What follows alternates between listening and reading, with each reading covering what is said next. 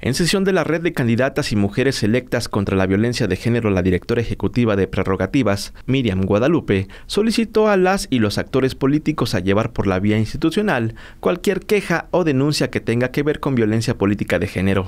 Desde esta trinchera estamos generando caminos institucionales, ¿no? Entonces, por eso estamos aquí, para escucharles, para eh, saber ustedes eh, cómo están, cómo se sienten y por supuesto, frente a la protesta y a la denuncia hay que hacerlo por el camino institucional. La titular de la Dirección de Igualdad de Género y No Discriminación del IEPC, Sandra Hernández, señaló que no cualquier dicho, mensaje o acusación se puede configurar como violencia política de género, aunque así lo intenten hacer ver quien se queja de ello. Para eso, se tienen que cumplir diversos preceptos ya contemplados y normados que el acceso al ejercicio pleno de sus atribuciones inherentes a los cargos también están siendo anuladas o disminuidas.